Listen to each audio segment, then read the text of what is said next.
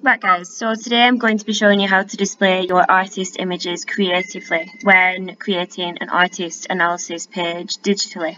So looking at the work of Abby Diamond, we can see automatically it's really fluid, it's really relaxed, it's watercolour, it's a really soft kind of feel to her images.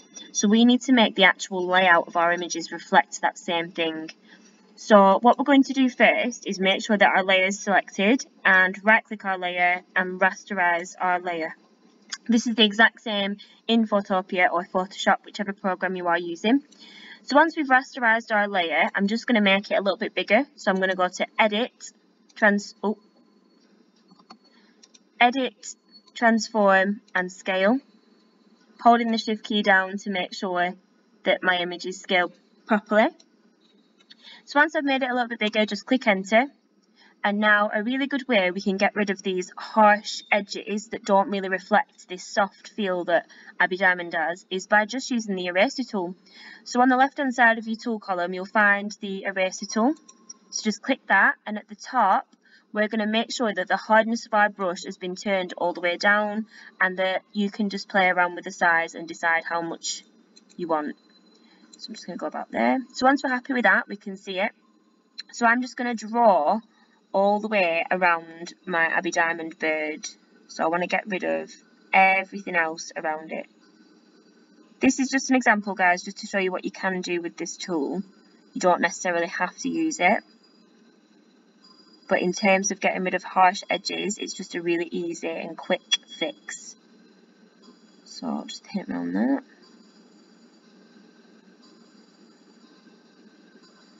Can get rid of the with a bigger brush.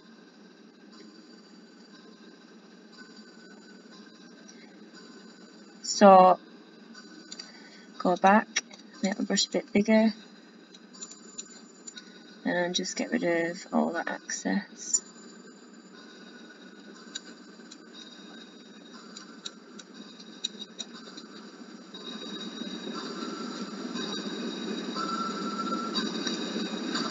Okay, so once I'm happy with that, I can go back to Edit, Transform, and Scale.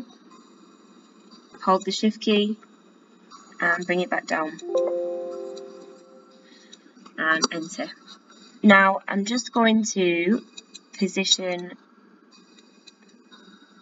my bird at the top there and click enter. So that's one way we can do it. Another way we can do it is, if I just click that bottom layer, is by actually getting rid of some of the image using the selection tool. Now this can work really interesting with sh um, sharp silhouettes. So like we can see this bird, it's a really nice clean silhouette and the background is really clear. So it works with images really well like that. So again, I'm just going to edit, transform and scale. And just making it a bit bigger so I can see what I'm doing. Enter. Going back to our layers, I'm just going to right click and rasterize so we can edit the image. Now, on the left hand side where our tool panel is, we can see there's a button that says quick selection tool.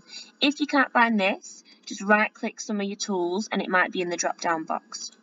So once I've got that clicked, I can see at the top of my screen there's a plus and there's a minus. So I want to make sure it's on the plus. If I want to keep my bird and get rid of some of this white background, I'm going to click on the white background first. So I'm just going to select that. If you feel like it's selected too much, like it has there, I can go to the top, click the minus, and just get rid of any extra selection that I might not want.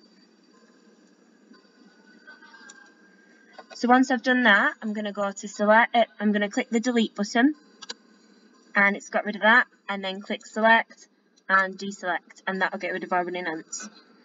Now just to touch it up a little bit I'm going to use the eraser tool again just make that a bit smaller and just clean up any excess space that I might not want.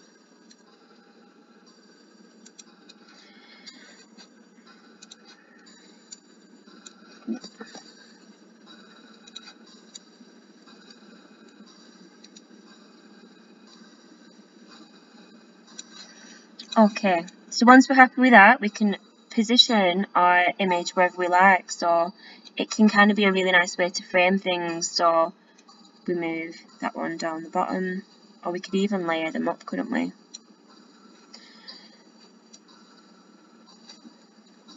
Just have a play around with your page and see what you like best.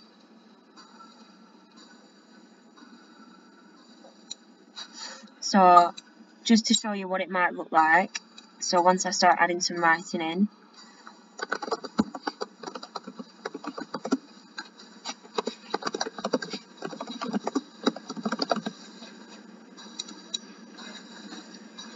we can see that just by using that selection tool, it's framed the title really nicely.